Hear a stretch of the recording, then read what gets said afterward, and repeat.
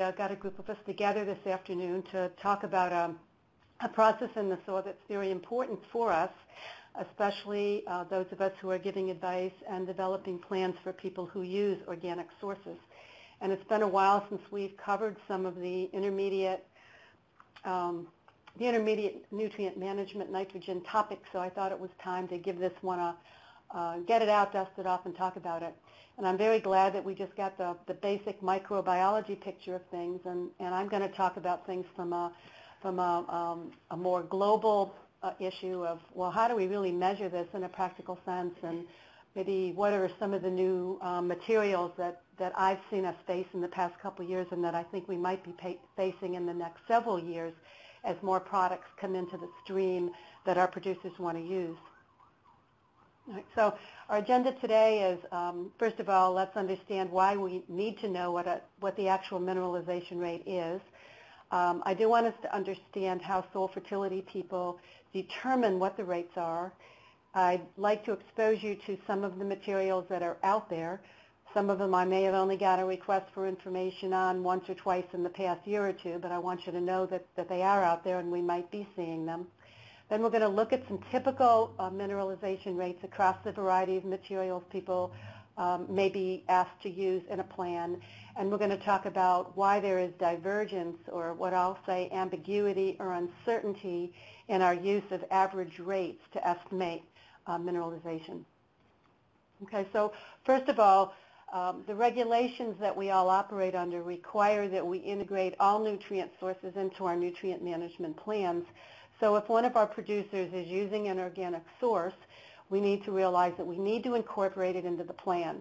However, uh, organic sources typically contain both unavailable and available forms of nitrogen, and so we have a, a process or a paradigm for looking at the analysis of various organic materials and determining what we call plant available nitrogen or PAN. So plant available nitrogen, just to re refresh us, um,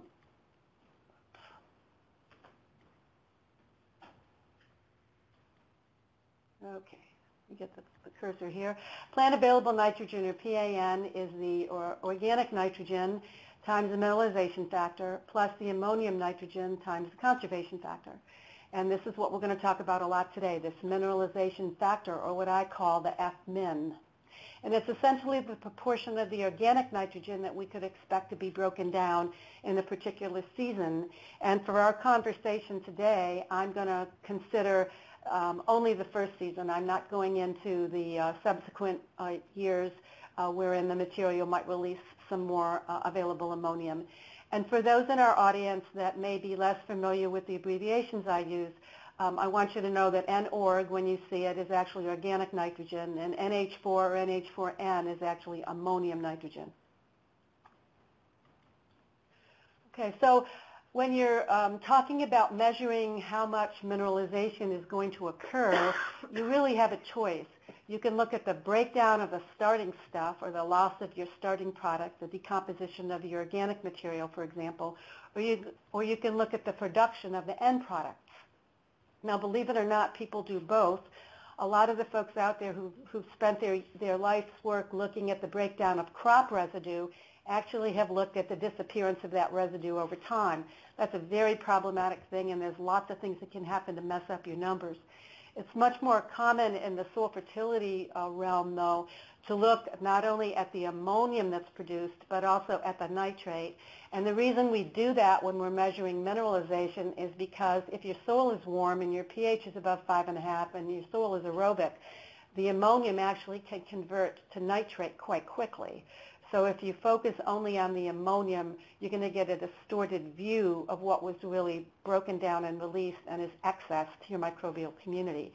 So in the discussion and the measurements we look at today, our scientists are always looking, or often looking at the sum of both of these materials when they measure mineralization or decomposition. Okay, so how do we actually measure mineralization? Well, the certainly a preferred way is in situ or in fields themselves, in actual fields under actual outside in the world situations. Um, expensive, time-consuming, um, limiting. There's also incubation studies, and that's where the majority, and I mean the vast majority of the work, there's probably 500 times as much work done in incubation situations than there is in the field. And lastly, there are some, um, there certainly is a desire to come up with some laboratory estimates of actual mineralization rates. And there's at least one case I'm going to talk about today where they were quite successful at finding a fairly reliable laboratory estimate. So we're going to take a look at all three of these. First of all, in situ, I want to say that it is the gold standard. It's out in a real field under real environmental uh, conditions. Essentially, the ammonium and the nitrate that are produced in that field situation um, are measured. Uh, the, the reality is that because of space um, and labor and time and resources, you can only look at a limited number of comparisons. All right? Um, also, you're limited by the soil conditions and the environmental conditions that existed in the year that you took your data. And so for this reason, um, some people use this methodology to uh, kind of ground truth their incubation studies, but this is not done very often. Okay. Here is an example of uh, what's come to be the preferred method for determining in situ mineralization. Um, and this evolved from um, the idea of setting up plots, putting some organic waste out, measuring your ammonium nitrate. There was just so much variability in that data that folks realized they need to be a little bit more precise about what they were doing. So in these studies, and this is a very interesting methodology, people essentially use a PVC pipe or some kind of method to, to drive down into the soil and extract a core of soil. Right? They remove some of the bottom of the core of soil and put in a resin, and that's an anion and a cation exchange resin that will, will trap any ammonium and nitrate that move down through the soil core during the growing season. And then they reinsert that core back into the same um, hole and seal around the edges so, um, so it's tight with the soil surface. All right. Then um, they put the material that they're investigating at the top. So they've got a very precise um, area that they're dealing with and they can precisely place their material. They know exactly what the rate was in that area of the soil and in that volume of the soil. And then at the end of the season, they not only extract the soil um, that's within that volume and analyze it for ammonium and nitrate, but they also analyze the resin for ammonium and nitrate. So you know very exactly what you put on, and you know very exactly what what of the organic nitrogen was transformed in the soil or uh, was transformed and leached into this resin at the bottom. And so this is done not only for the control, but um, but for your, your, um, your treatments. And an improvement on this, because some people found that there wasn't good uh, contact at the bottom here, the, one of the improvements to this was to take a little bit more volume of soil out of the bottom of your tube and put some sand there so you, you got good core soil contact below it, right? So the, the issue here was people often wanted to put more than one soil core per treatment.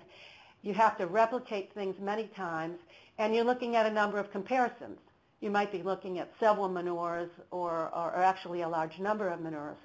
So while this is a beautifully um, exquisite tech, uh, technique for measuring um, in-field nitrification and uh, mineralization on nitrification, it's limited in the sense that these, this is a time-consuming, precise procedure, and you are limited in how much you can actually look at. Right? Again, the most common way of determining mineralization is by incubations, and these are almost always done under aerobic conditions where your um, macropores are empty of water.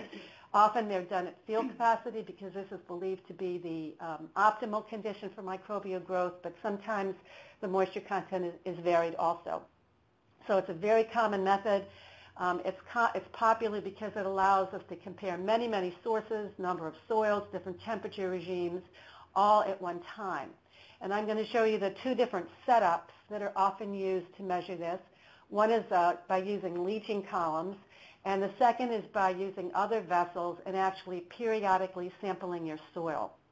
And again, one of the beautiful things about this is it not only allows you to investigate what the mineralization rate was over the whole season, but if you take your samples or leach your columns over time, you also get a sense of how rapidly the process is happening. Okay, so here's one of the setups people use. Um, a popular incubation vessel is the commonly available canning jars. And some people use quart jars or they use gallon jars. And essentially you have a, a jar with your, your soil of interest and your amendment of interest, your organic source of interest, uh, replicated many times, a minimum of three, often five. You sample your soil periodically.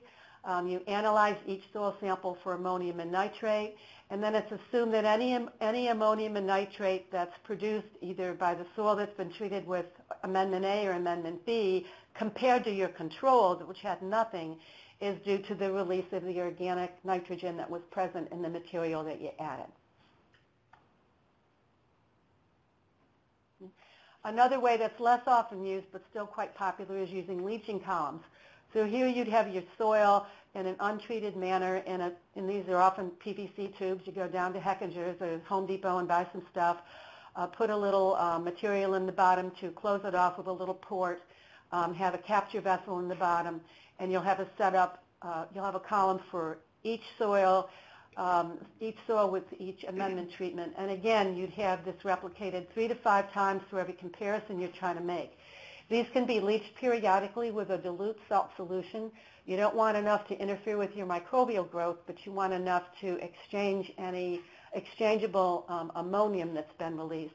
And then you analyze your leachate for ammonium and uh, nitrate, and you compare your um, amended soil to the untreated control soil, and again assume that anything more that comes out uh, from these columns is due to the breakdown or the mineralization of your organic source. So both of these are very popular ways of determining um, in an incubation situation how much of your organic nitrogen is, is uh, undergoing transformation. So here's a study from um, the folks at University of Georgia who've done a tremendous amount of work with poultry litter. And they actually use the Ziploc bag method, which I personally uh, prefer because then um, you don't have the problems of people tripping over their feet and falling and breaking experimental units made of glass. Um, so Ziploc bags are another common, um, uh, common vessel used to do. They happen to use uh, a 75 degree Fahrenheit or 25 degree C for their, their temperature. They had their uh, soils moistened to field capacity, and they investigated 15 litters from different commercial um, broiler houses in the state of Georgia. These folks are all at University of Georgia. And then they sampled their soil um, litter um, mixtures at more sampling times than any other experimenters have. They looked at uh, immediately after setup, at, at a, a quarter of a day, 6 hours, 12 hours, 1 day, 3 days, 7 days, 14 days, 28, 42, 70, 48, and 112 days. And so we could actually see how quickly things happen and how much happens over that 112-day incubation period. Okay? so I have a question for, for um, folks now, and that is, um, what do you observe about the poultry, at least three of the poultry litters that um, Gordillo and Cabrera studied in this experiment? What is your primary observation when you look at this graph?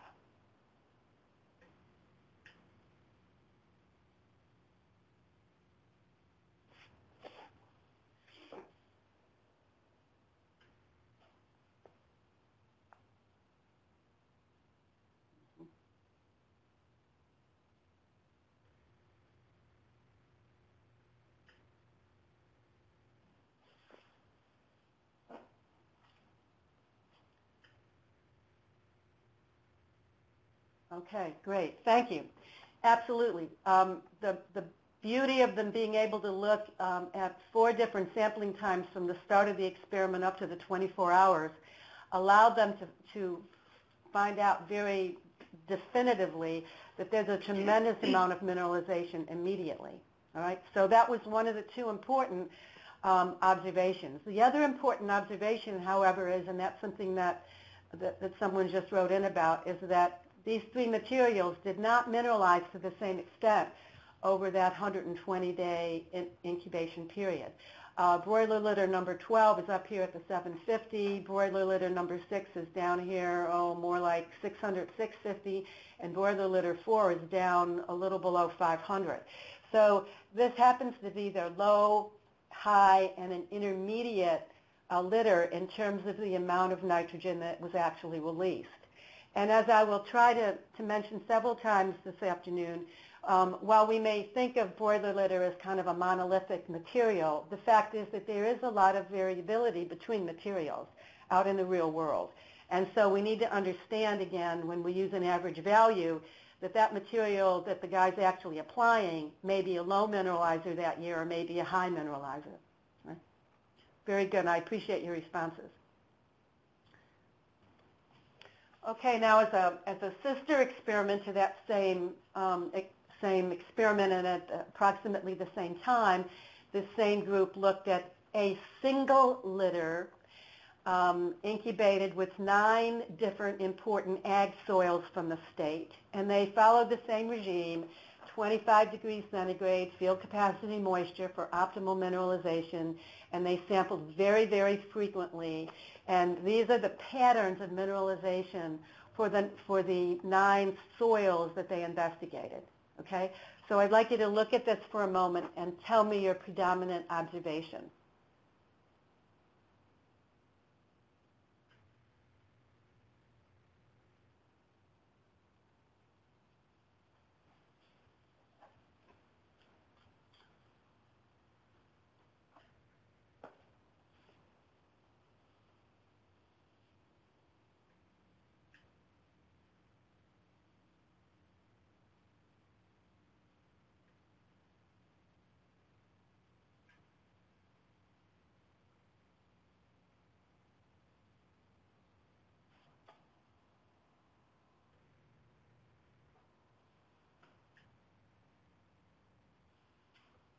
Great, thank you. And again, uh, we need to understand that even the same material, and this is the same material sampled at the same time, these weren't stored and looked at years later, even the same material is going to behave differently on different soils.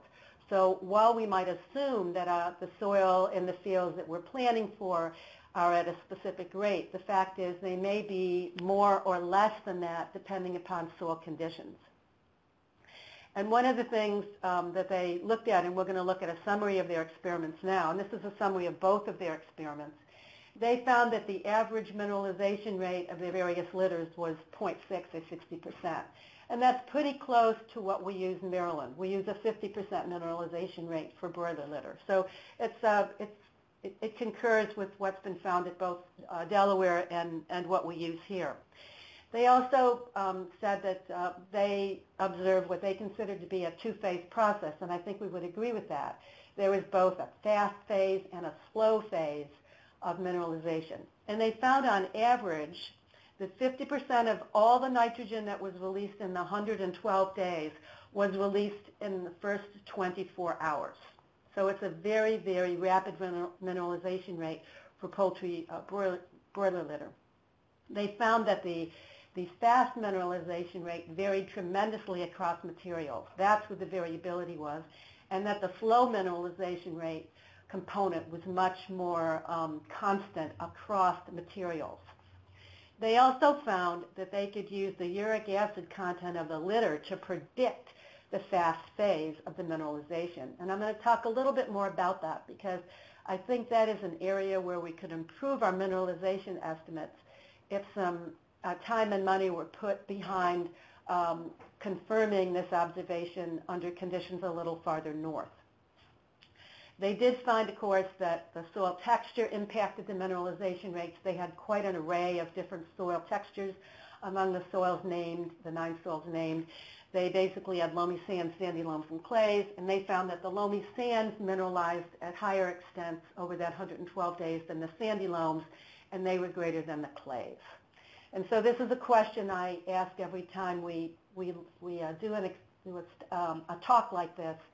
Why would a sandy loam soil tend to have a higher mineralization rate for the same material than a clay soil?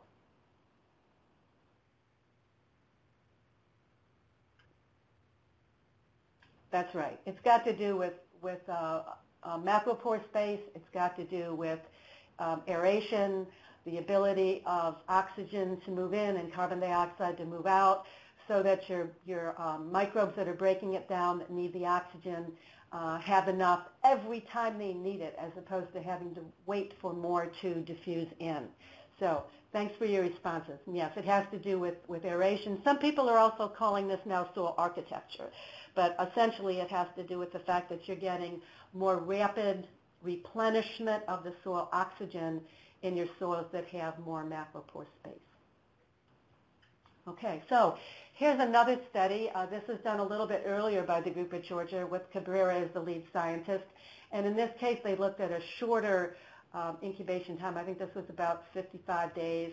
And they also looked at some different materials. They looked at some composted um, materials, broiler and, and hen materials. Um, they looked at broiler litters that were whole or sieved, and of course they have a control. And I just want to tell you a little bit about this whole sieved thing.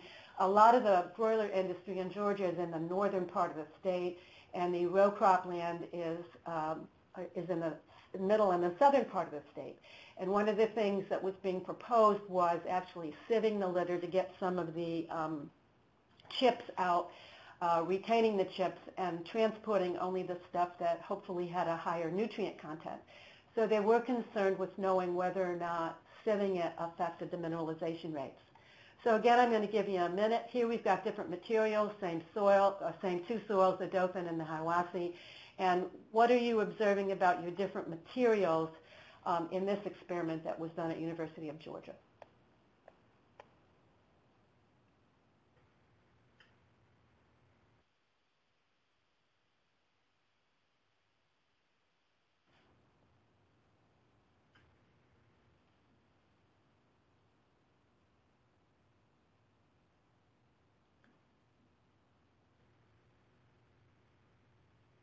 Oh, great.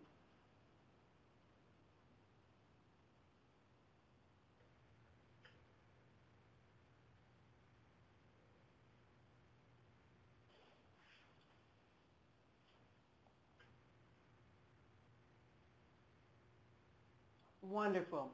Thank you so much for your answers. Yes, uh, your control here is this little diamond, and you can see that the, the composted, especially one of the composted samples, um, did very little more than the control. I don't even believe it was significantly different. Um, the other composted material was a little bit higher, but certainly nothing to write home about. Also, it was very slow release. This is cumulative release over time. Look, there's, there's a, what happens happens very slowly and very gradually as compared to what's happening with your fresh stuff, where again, um, they just started at day one here, but you can still see that by day one there's a real spike compared to day zero. So fresh materials tend to have a component, this fast component that mineralizes very rapidly uh, before it levels off, whereas the uh, composted materials tend to be very stable. They release much less nitrogen over time, mineral nitrogen over time, and it's a much more gradual process. Now, I do want to mention that, that many people um, make some very global statements about organic nutrient sources and act like they're all slow release, and you get this steady, slow release over the season. That certainly is true for materials that are stabilized by composting, but we certainly know that that is not true about fresh uh, broiler litter. Okay? It's also not true of fresh uh, swine manure. Right? And fresh manures uh, of those types, the monogastric animals in particular, tend to have these uh, very rapid release of a significant amount of material before stuff levels off. And there may be, as in this case, some gradual release between 30 and 58 days, but it certainly um, didn't, didn't level off until um, very late in time. Good. Excuse me a minute. So anyway, if we were to look at this in a little diagram here, if this is all the nitrogen in the uh, poultry litter as it's being sampled, okay, we've got some of it that already exists in an, in an ammonium form. We have some that exist in urea from the breakdown of uric acid. Um, and then we have other organic nitrogen forms within the organic pool. Now, this is going to be a mixed bag of things. This can be anything from um, cell wall material that was sloughed off um, as the material was going through the animal's digestive tract. It can be microbe bodies from the digestive tract. It can be undigested feed. This component here is going to vary in stability. But these two components here, uric acid and urea, because they're simple compounds and they are very labile, they're going to change quite rapidly when you put them into the soil. Now compare that to compost. It's already been stabilized, all right? So there are no labile sources in the organic pool. The soil microbes have already taken care of anything that's labile while it was undergoing composting. So you've got a very stable organic component here. And then hopefully if the material's actually been truly composted, a very low amount of actual um, ammonium nitrogen and in that usually not measurable amounts of nitrate. Okay, so here I've tried to show it again. Um, your other organic sources will increase will, will exist in increasing stability where some of these may break down this year, but others may exist for a number of years.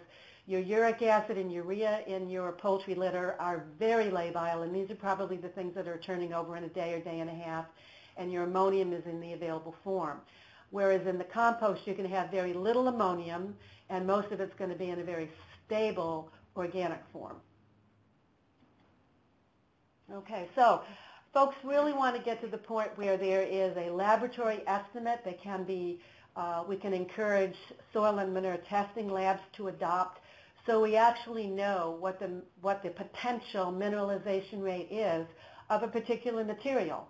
Um, in most parts of the country now, if, if you're required to have any kind of a nutrient management plan or comprehensive nutrient management plan, a manure analysis is already being required and is being done. So the thought is, let's come up with a good laboratory estimate that would actually give us a handle on the potential net mineralization rate of the material while we're at it. Now again, we're looking for something that isn't going to take more than a day or two because the testing labs want to um, maintain reasonable turnaround in samples and it would be nice if they could do it with the kinds of equipment that already exist in soil and manure testing labs. So this is what people have had in mind as, they, as they've looked at, at various methods. Well, again, the folks at University of Georgia are the ones that have found that actually something called water-soluble organic nitrogen is quite good as, a, as an estimate, a laboratory estimate of net mineralization. And of course it works well because there are two sources of uh, organic nitrogen in there that are soluble, urea and, and uh, uric acid. And so let's look at a graph that shows how well this measurement, water-soluble organic nitrogen, compares with the actual mineralization rate that was observed in a very extensive incubation study. Now they had 20 different, excuse me, 60 different um, samples as part of this experiment. This is your potential mineralized nitrogen in grams of nitrogen per kilogram uh, of uh, material.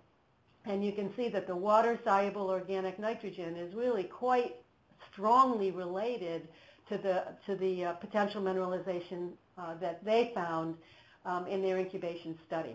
And, and one way we measure how good something like this is, in addition to looking at the, the scatter, is what the R square is. Okay? And an R square of 0.87 is really good. So this certainly is something that, that folks could consider in um, confirming in their own region to see whether or not they get the same high um, R square and that could theoretically um, theoretically testing labs could be encouraged to uh, to uh, integrate a test like this into the manure analysis uh, that's already being done. Now I will say that this test requires um, about two days, which is not outside the time range when a manure would be in a testing lab anyway. It does require a piece of equipment that might not be in most testing labs. It, it requires um, HPLC, high performance liquid chromatography, to separate out the uric acid. Um, however, uh, it looks very promising as a way of determining what the potential mineralization might be.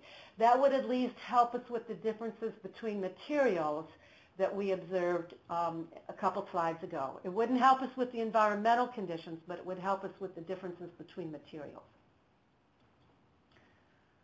Okay, so um, I, I'd like to talk for just a minute about the fact that because we've got some very labile materials, what happens when poultry uh, litter um, excrete their wastes um, is, is, is pretty interesting.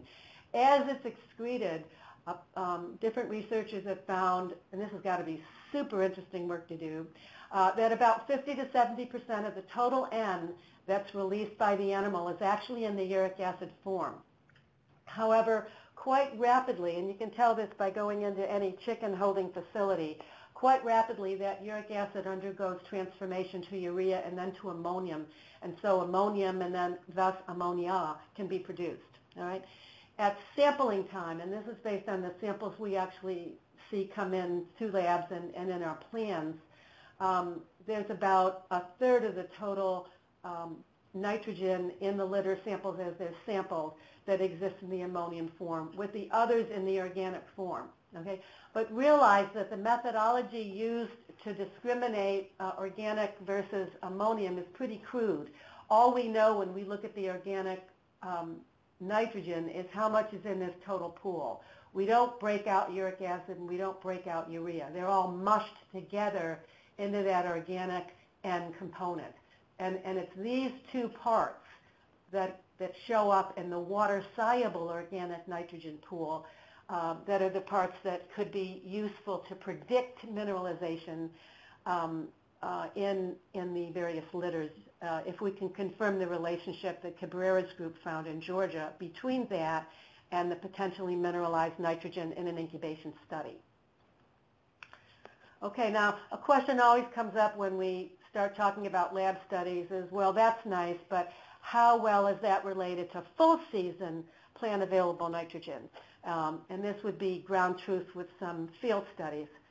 Well, there hasn't been uh, a good study done in the, in the, on the east coast of that, but a group out in Washington and Oregon where there's a lot of interest in, in using many, many organic sources got together and, and did a very extensive study. It was a two-year study uh, there, were, there was a field site in both Oregon and Washington. There was a laboratory comparison in both states, and they looked at 37 different materials that included broiler litters, dairy solids, rabbit manure, yard trimmings, specialty products, and these are sold in the, in the uh, commercial market, and various composts.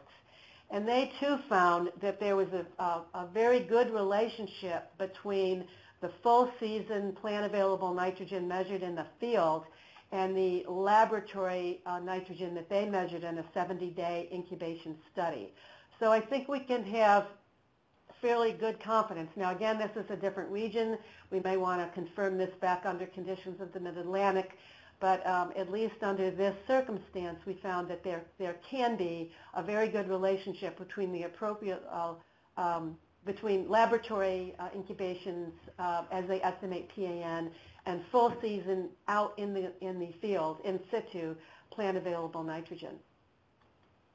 Okay, so let's go on to some of the different things we're seeing. Um, there's a, a, number of different things out there in the commercial market. Um, you know, in the 90s, most of our focus was on the various animal manures, but there's a whole lot more out there now that people are interested in integrating into their nutrient management plan, putting on their fields as nitrogen sources. Uh, we have a fair amount of meat and seafood processing residuals even here in Maryland because of our industry. There's some interested in plant products, and I'll go into why when we talk about this. There are a number of instances where yard waste composts um, and various residuals are being looked at. There are um, both commercial and on-farm composts that are being integrated into nutrient management plans. And then there's bioenergy residuals that, that I've seen some interest in and that we might see more interest in as time goes on. So I want to just go through a few of those. Okay, first of all, these are the mineralization rates that are used for, for um, these common animal groups in Maryland, and this is all in our, our regulations. We, uh, we have broiler, layer, sheep goats, um, beef and dairy, swine, horse, and this is the year of application, and this is how much of the organic nitrogen in your material you could expect to be mineralized the year of application. And we can see here that animal type is very important, not only because there's different ways they're fed, there's different kinds of, of, of feeds that are fed these animals, but also because of differences in digestive systems. So these are materials we're quite convenient, or quite familiar with, and are um, quite used to handling.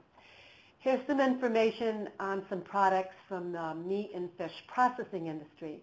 Now, blood meal is a commercial product, um, and it, it is uh, dried and um, sold in the commercial market. That is, you can go to a store and buy it. Um, feather meal is um, not usually seen as an individually uh, sold product, but it's in many of the organic mixtures that you can find on the market.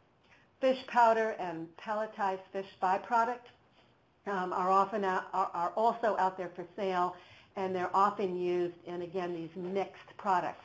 And you can see that when they were looked at as individual materials, that blood meal has has um, a, a, quite high mineralization rate, 65 to 70, depending upon uh, who studied it. Um, hydrolyzed feather meal is also quite high, 60 to 65.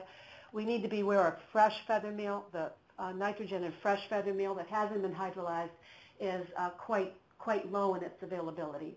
Although most of the products available now are in fact hydrolyzed. They've been steam hydrolyzed or treated with ammonium hydroxide. There's some fish powders out there, both as as um, discrete products and in mixtures of organic products. They're pretty high also.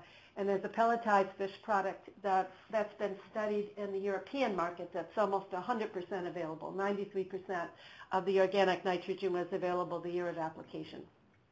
So it looks like the meat and, and fish stuff is considerably, um, uh, is as high or higher than our highest mineralizing animal manure just to put it on a relative scale.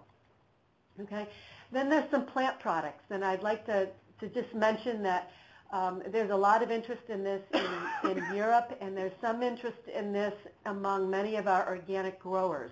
What I found in the past couple of years is that if an organic grower is a, is a vegetarian, they not only don't want to eat meat products, but they don't want to use animal and fish residuals in their production operation. So we've, we've had to um, do some searching for a wider array of plant products that one might use as a nutrient source. Well, castor cake is the, is the result of, of uh, pressing um, castor beans for their oil that has an industrial usage, and, and that has a modest, well, a fairly substantial mineralization rate of 0.45. Lupine seed meal is used a lot in Europe lupines are a leguminous uh, flower, to my knowledge. I don't know why they have enough that they're using it for uh, production, but anyway, they are, and it has a 0.35. It's down with uh, down around uh, beef, beef and dairy manure. And there's also a commercial product called phytopearls or phytopellets. That's a pretty substantial nitrogen source. It contains about 7% total nitrogen. It's from corn processing, and it has a 30% mineralization rate. So overall, it looks like some of these products are significantly lower than what we're seeing in terms of the mineralization rate from the animal byproducts. But for those people who, for philosophical reasons, want to use it, there are materials out there that are available and that we have some information on. Another thing we're seeing a lot of is uh, composting of yard waste, and in some cases the desire to use materials from yard waste collections even in, in their fresh condition. Um, these first two materials, Huck's Hen Blend and Panorama Pay Dirt, are actually commercial uh, compost products sold by composting facilities in the state of Virginia. Now, Huck's Hen, hen Blend is actually eight parts of yard waste to one part of Hen Blend. It has a, a CN ratio of 29, um, and it has a, an extremely low mineralization rate. I think I figured out that you'd have to use 25 tons on this to get one pound of plant available nitrogen. It's uh, barely measurable uh, above, above zero. Then there's this panorama called Panorama Pay Dirt. It's one part of yard waste, the two parts of poultry litter. It has a CN ratio of 19, and it actually has a low but, but a significant uh, mineralization rate and is up there with, with uh, kind of our average compost mineralization rate across many studies and many materials. Then there's some people that actually want to look at fresh leaves, and I always um, warn against that. These are actually negative mineralization rates, which mean that they're immobilizing nitrogen, and that they're not immobilizing a whole lot. And there's certainly a difference between textural class. There was more immobilization with a, a, sand, a sandy clay loam than there was a sandy loam. But uh, the fact is you can't count on um, fresh leaves to give you anything, and they're actually going to tie up a little bit. Then there's a desire for people, and there's actually a client that we dealt with, uh, actually several clients this year, that want to use fresh grass clippings. And, and they actually have um, a significant mineralization rate. And again, there were some differences among soil textures. For the same materials, the mineralization rate for a uh, sandy clay loam was 0.25 or 25 percent, whereas for um, uh, sandy loam it was 40 percent or 0.4. Um, there's huge emphasis in New Jersey and actually a state law that requires that these um, grass clippings and leaves and all not go to the landfill. They have to be utilized somehow. So there's tremendous interest up there in using them directly on ag land. There's a lot of it. Got to do something with it. Okay. Now here's some composted materials. These first three are actually commercial materials that are sold in, in uh, home and garden stores, Bovung, Fertilife, Earthlife Carbon. Um, the first two had very low but negative mineralization rates. That means they actually there was actually less ammonium and nitrate in the soils that received these materials than in the control soil. Whereas Earthright C had a low but positive mineralization rate. And in an example of an on-farm compost that was made of sheep manure and household food waste, uh, again, actually a negative mineralization rate.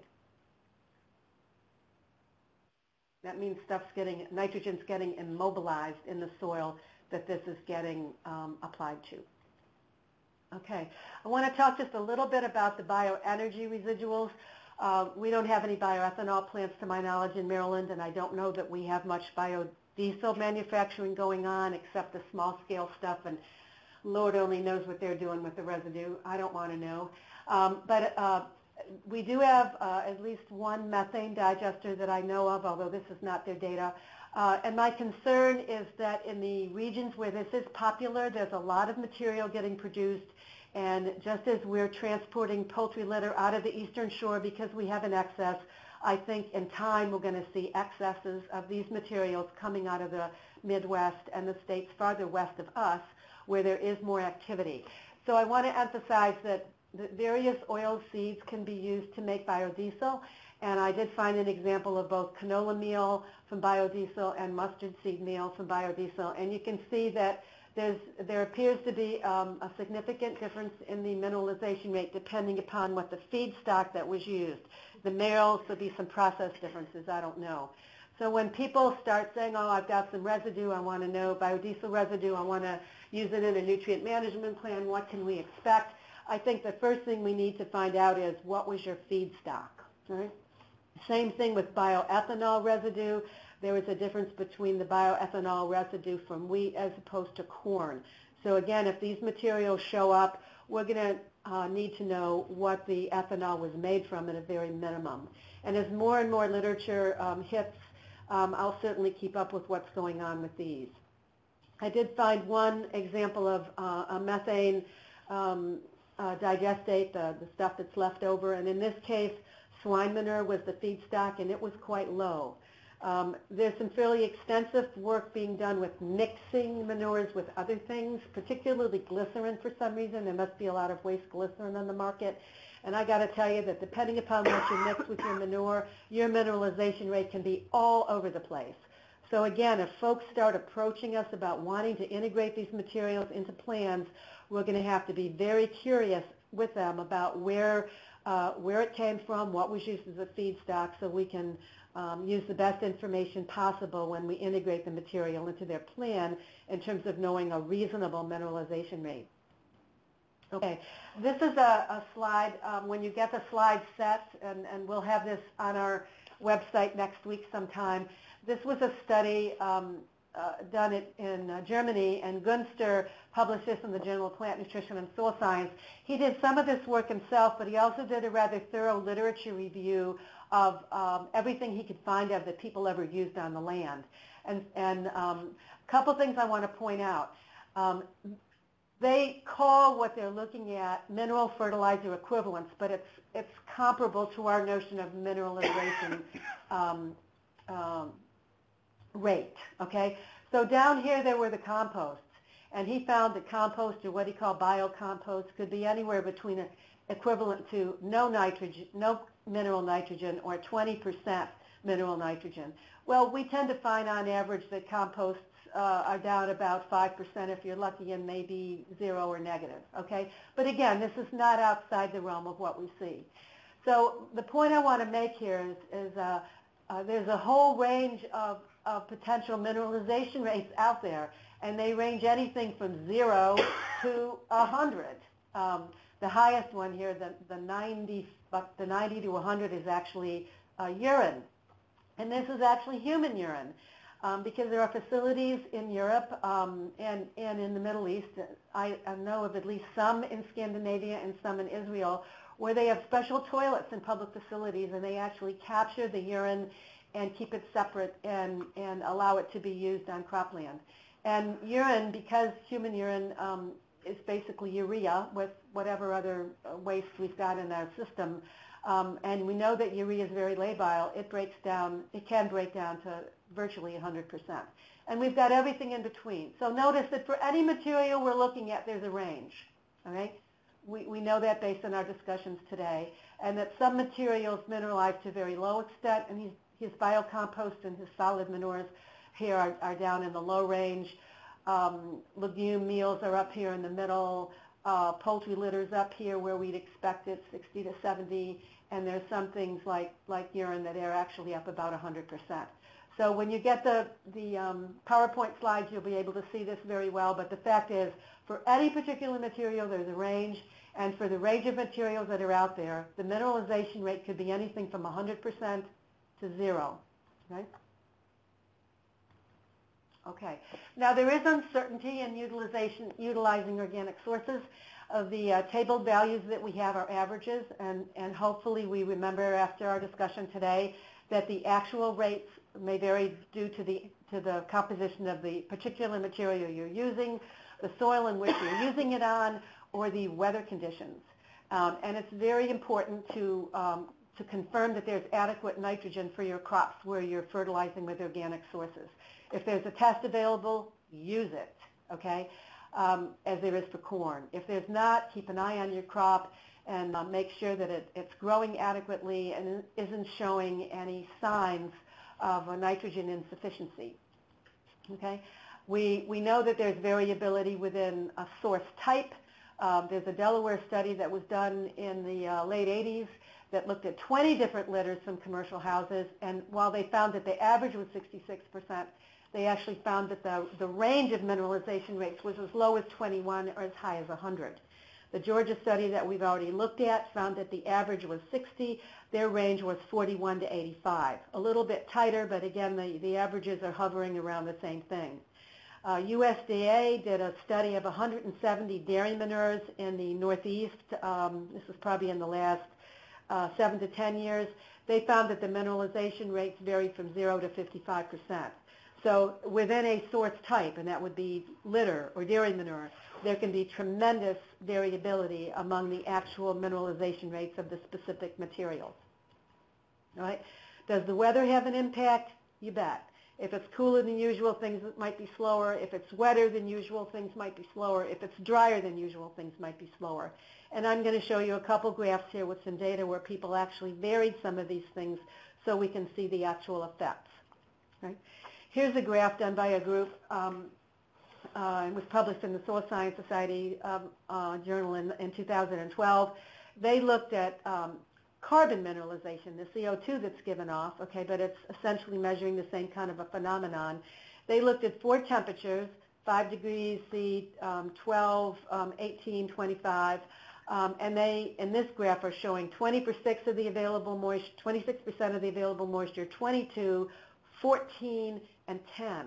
Now, these are all relatively dry soils in the sense that the moisture content they were considering was the um, percent of available moisture, the moisture between field capacity and wilting point. So to only have 26% of that left is already on the low side for a sensitive crop like vegetables. But this certainly could represent what's going on in our fields in the summertime. You know, I'm sure that when we have infrequent rainfalls, we get down to 26% of available moisture and maybe even down to 10% of available moisture. So it's probably more typical of field conditions under rain-fed agriculture and a climate like ours. And there's a couple things you might notice. You know, there's less there's less microbial activity and carbon dioxide given off at 5 than there is at 12, than there is at 15 than there, uh, or 18 than there is at 25. The warmer the soil is, no matter what, what temperature we're looking at, the warmer the soil is, the more microbial activity there is, the more carbon dioxide given off, the more potential mineralization that's happening. And there really isn't much difference here, as, as I see it, between the 26 and the 22% moisture. 14, we're starting to see a depression in activity, and certainly by 10% moisture, we're starting to see a real depression in activity. So as soils dry out, there's going to be less mineralization, and uh, there's going to be more mineralization in warmer soils than there is in cooler soils. And there's one more graph, and this isn't the clearest thing in the universe, and I apologize for it, but it's a classic, and I have to share it with you. This is work done by Honeycutt when he was up at USDA in Maine years ago. Um, he's now downtown at USDA NRCS. But he looked at the breakdown of a common material in the state of Maine, paper um, mill sludge. And he looked at um, six temperatures, 5, 10, 15, up to, um, I think this is, I can't even tell what this is um, the warmest, okay? And, um, and you can see he looked at an incubation of, I think, 78 days. And um, there was a depression period here where there wasn't anything uh, released. This is a, a total ammonium and nitrate over here on this axis. And the warmest soil mineralized the most, and the next warmer soil mineralized the next. And, you know, there was these family of curves depending upon what temperature the soil with the waste was held at. But when he expressed that temperature, on a growing degree day basis, uh, most of the temperatures laid right down on top of one another, and the only one that diverged was the warmest temperature. Okay? So this is reinforcing the fact that this concept of looking at heat units or degree days is useful for a whole array of things across agriculture. It's useful for predicting when your pests are going to uh, show up. It's useful for predicting when it's time to side dress your wheat. And in this case, it's a useful indicator of, um, how rapidly your organic material might be breaking down. And the, one of the reasons I want to share this with us is because I know that, that some years, and I think last year was one of them, where we had a cooler spring. And at, at the time the, the corn uh, was taking off and going into its rapid growth state, we hadn't accumulated as many growing degree days as we had other years. I, now, I didn't track the data, but I just had a sense from living through the various years. And, and this certainly explains why this is happening. If you haven't had the hours of soil at, at a warm enough temperature for your microbes to function optimally, you're not going to have as much release. And so your, your mineralization that you observe under those conditions is certainly going to be less. Okay, so overall, let me say that the nutrients contained in organic molecules have to be mineralized before they're available for plant growth either in the ammonium or the nitrate form. And for specific organic material type, litter, dairy, compost, there's a lot of variability across material, and we need to be cognizant of that. We need to understand that the same material can mineralize at a different rate in different soils. And we need to understand that our environmental conditions affect mineralization and that they can vary from year to year, even for the same material. Right? So um, with that, I just want to reinforce that we've looked at this little part of the nitrogen cycle down here. Um, and if you have any questions, I'd be glad to um, answer them now. Okay. Okay, so the glycerin's coming from biodiesel. Okay, so the, there must be a solid material that's left and then a liquid material, I guess. Okay. Thanks, Amanda, because I was wondering why they were mixing different amounts of glycerin with the digestate.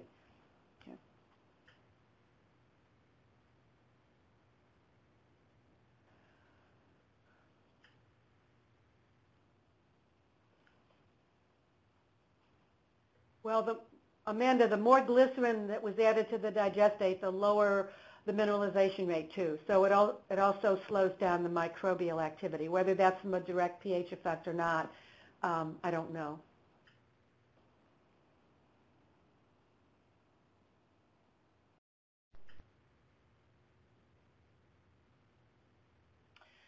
Um, good question, Harry.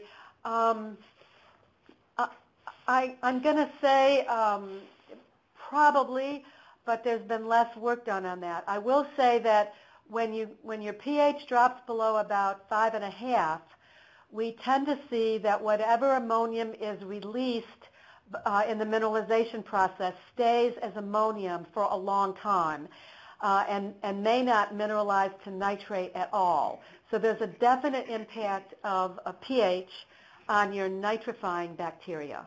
All right? There, there tends to be less overall on the mineralization, and I think that's because when the pH drops to the point where the, micro, where the bacteria aren't so active, the fungi tend to take up the slack. So the research I've seen shows that there's less um, production of ammonium across pH ranges, but that whether or not the ammonium is going to the nitrate is very definitely affected by the pH of your system. And below five and a half, nitrification will be very slow, if at all.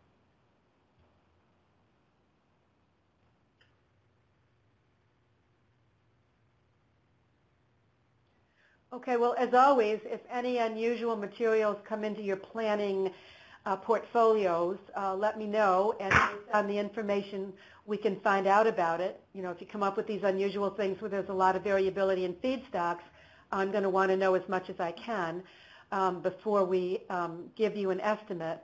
But if anything unusual shows up on your planning horizon, do get in touch with me. And if I don't already have information in my uh, bag of tricks, I will uh, find out what I can. What I'm finding right now is that there's a tremendous amount of work being done in uh, Europe on mineralization, and I think it's because the um, organic growing movement is so strong over there, and there's all kinds of stuff out there in, in the waste stream, and everybody wants to use it in a soil system. And so I'm really finding that the German literature in particular to be particularly rich in some of these materials. Now, what, what we need to understand is there are climatic conditions that are a little cooler than ours in a lot of cases, but at least it gives us a, a starting point um, from which we can um, get some information in a relative way as to how much nitrogen in these materials we can count on.